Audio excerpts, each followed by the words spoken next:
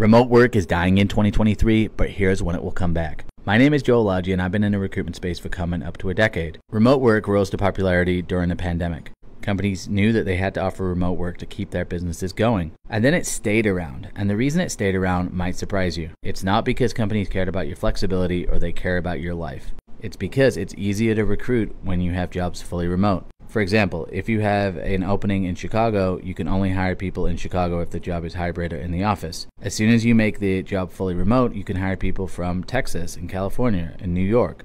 So, by making the job fully remote, you automatically make it easier to get top candidates.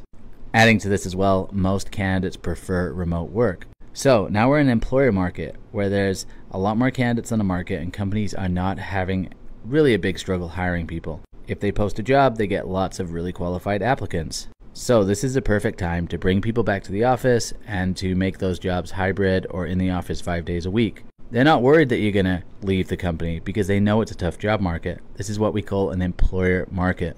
So, back to the point of this video when will remote work make its comeback? It'll make its comeback when all companies start hiring and it gets really competitive to hire top candidates again. Number one, they'll make it fully remote so they'll have access to talent across the nation, even across the world at times.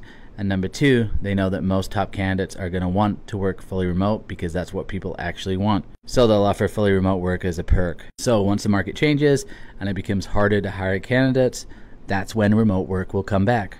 I'm guessing this will start to happen in Q1, Q2 next year, and then will be in full effect by the end of next year going into 2025. Feel free to save this video and share it with me when I'm wrong but I'll be right.